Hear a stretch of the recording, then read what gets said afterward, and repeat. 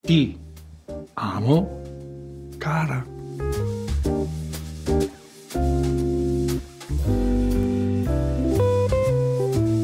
Beh, mi ricordo malamente di questa storia perché ho ricevuto una telefonata da Cesare che mi chiedeva la possibilità di dar per loro, per la fiera di, di Colonia, un'occasione nuova di, di, di fare un, un, nuovo prodotto.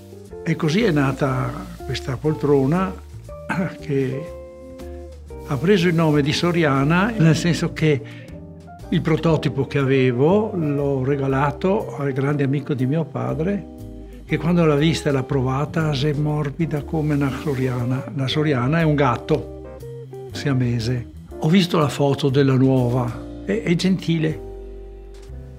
Mi ha fatto vedere una cosa che non l'avevo mai apprezzata nella, quando l'ho fatta.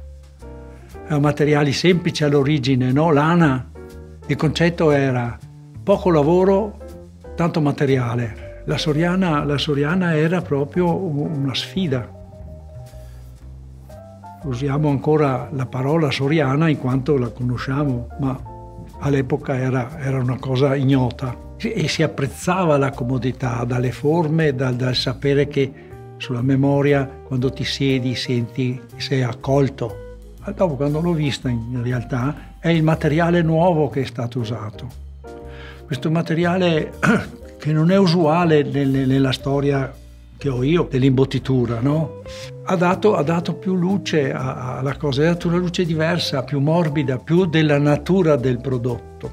Dentro c'è, c'è, c'è un mondo che è, che è stato completamente variato, aggiornato, aggiornato sulle tecnologie di oggi, molte di queste inusuali, quindi sono delle novità anche per chi si siede e trova una comodità altra, una comodità più sicura, una bella proposta di comodità e un sostegno sufficiente per tutta la superficie della poltrona. Quindi dal punto di vista che cosa penso io che è stato fatto un lavoro più raffinato